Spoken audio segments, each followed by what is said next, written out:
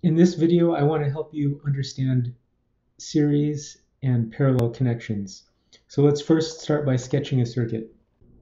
Here's a voltage source. So we have two resistors. Let's label them R1 and R2. The first thing I want to remind you of is the concept of nodes.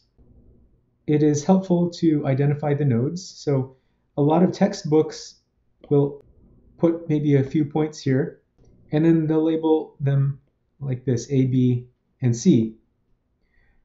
Well, that's correct, but it's better to identify the nodes as the electrical connection between elements. So let's just write that out.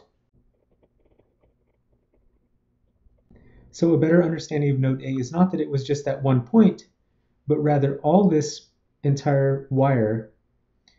And then node B is all of this, and node C is all of that.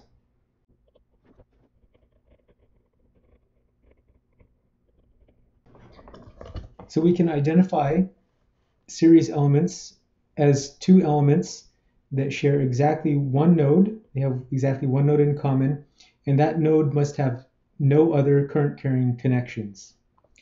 So we could say that R1 and R2 are in series, why? Because they're connected at node B. And then at node B, there's no other current carrying connections there. Similarly, we can say that R2 and the voltage source are in series because they're connected at node C. And finally, we can say that the voltage source and R1 are in series. They're connected at node A. One consequence of elements connected in series is that if you have a current flowing through the circuit, let's call it I, that's leaving the voltage source, well, that I flows through R1 and no more and no less can leave R1. So every bit of current that enters R1 has to leave R1. This is a consequence of the conservation of charge. So uh, every bit of current leaving R1 is the same current that enters R2, and it, it's the same current that leaves R2.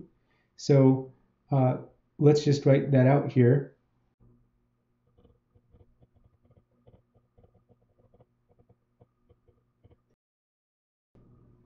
Now we can explore elements connected in parallel. So let's copy this circuit, and we'll paste it here below. And I'll add another resistor between nodes B and C.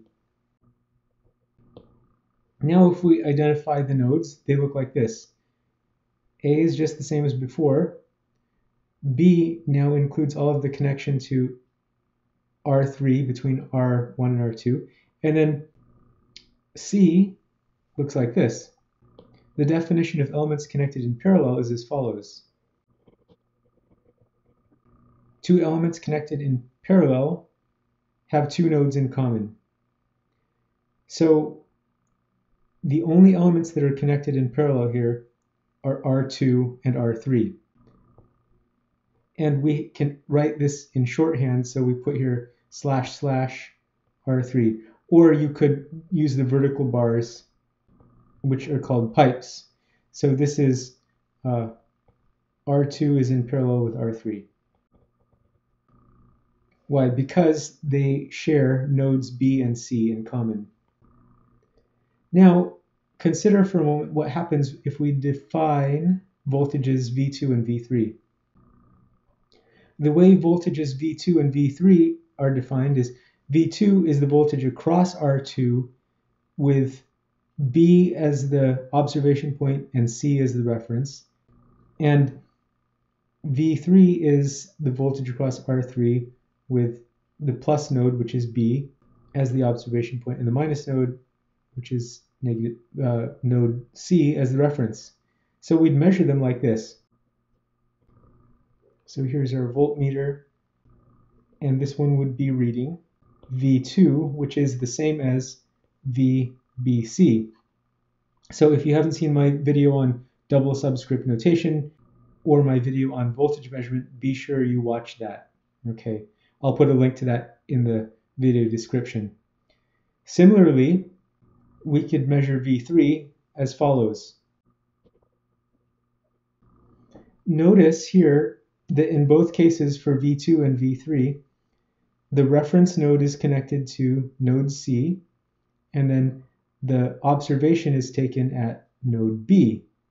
So the principle we'll write here is that two elements connected in parallel have the exact same voltage. Actually, a better way to say that is this. The voltage across two elements connected in parallel is the same. So let's write a summary table. So series connections between two elements require exactly one shared node and no other current carrying connections. And when you have series elements, you have the same current. So let me just point out something really quick. Uh, notice here that everything is in series in this first circuit. And then when I connected R3 across here, no longer can I say that R1 and R2 are in series. It's tempting to say so, but they're not. Why? Because now we have a new current carrying connection in R3. Let me just erase these voltmeters. So what we'll have is current leaving the voltage source. We'll call this I. We know that I leaving the voltage source is the same as entering the resistor, and so it has to be the same leaving uh, the resistor R1. Uh, notice that the voltage source and R1 still remain in series, but now R1 and R2 are not in series because while they do share one node in common, they have this other current carrying connection from node B to node C through R3. Similarly, R1 and R3 are not in series because there's another current carrying connection going through R2. So let's just go ahead and label these currents I2, I3. One thing you can see here is that, and this is really where these connections get their name, since VS and R1 are the uh, in series, they have the same current. So the same current flows through them in series. And then I2 and I3, well, this current from leaving R1 splits off and then flows through them in parallel and then recombines at the bottom and this current has to be I. So I hope that also helps illustrate why these things are called series or parallel. So back to the summary table, we'll write here that for the parallel circuit, you have exactly two nodes in common. And the same, uh, and what's the same? Well, it's the voltage. Okay, so I hope that helps you recognize elements that are connected in series or parallel an important key to this is to identify the nodes, and then you just ask yourself, well, what's in common? Is it one node? Is it two? If it's one, are there other current carrying connections? Maybe one last thought I'll add here is that I could add another resistor here that doesn't go anywhere. And so what you'd have, let's call this Rx. And so I could have a new Ix, but since there's no uh, closed path for Ix to flow through, it has to be zero. So this Rx does not represent a current carrying connection at all.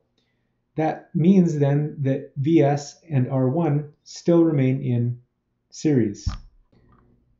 I hope you found this helpful. If you did, please like the video and subscribe to the channel.